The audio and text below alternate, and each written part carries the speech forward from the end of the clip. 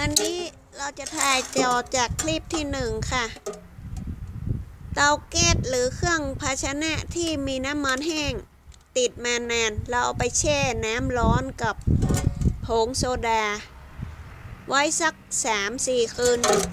จนกระทั่งมัน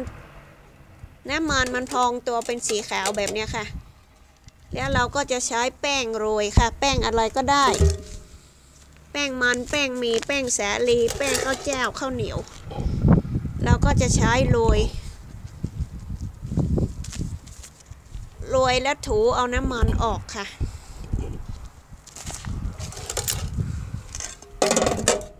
นี่กระทะเราก็ถูเอาน้ำมันออก ถูแคบน้ำมันให้ออก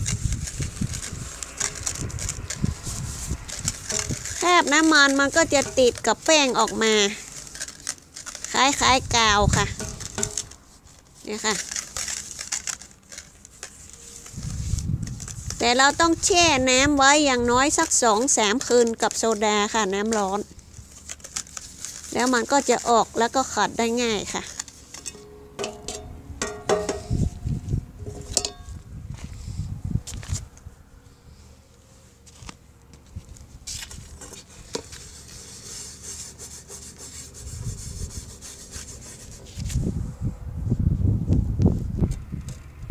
อันนี้คือหม้อทอด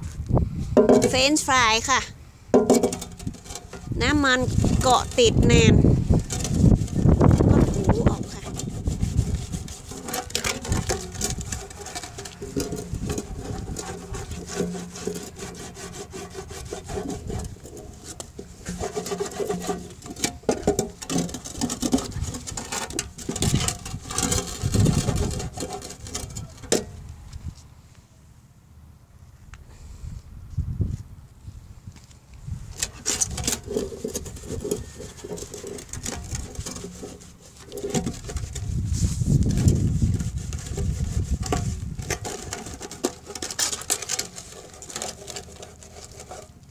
ก็ ถูไปเรื่อยๆ เดี๋ยว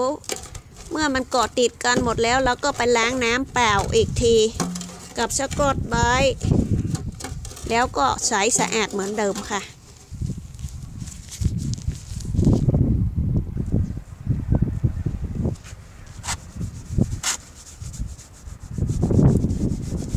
อันนี้มาถอดนอกบ้านเลยค่ะ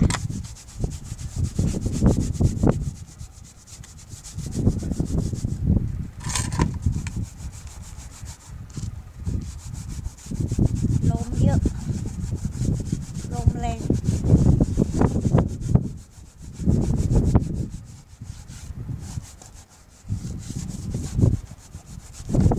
ถูเอากาว ออกให้หมดนะคะ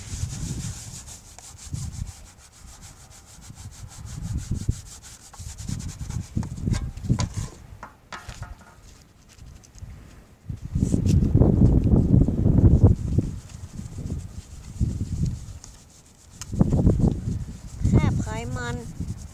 มันก็จะมาเกาะติดกับแป้งเป็นก้อนๆ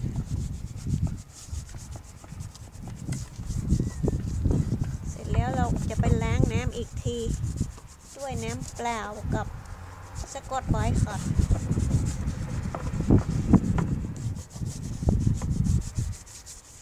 นี่ค่ะเห็นมันใสขึ้นมา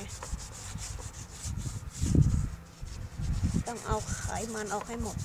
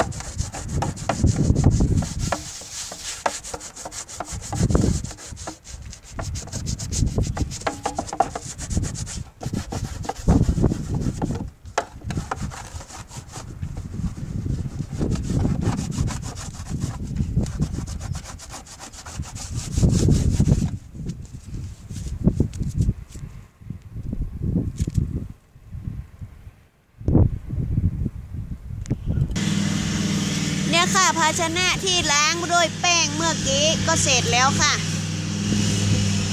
นี่ยค่ะจะใสสะอาดเลย ที่เกาะติดคราบน้ำมันแห้งมาเป็นปีๆ ตอนนี้แช่ด้วยโซดาสักสองสามคืนกับน้ำร้อน เสร็จแล้วเราก็ขัดด้วยแป้งเป็นอันเสร็จเพชรดีค่ะ ขอบคุณสวัสดีค่ะ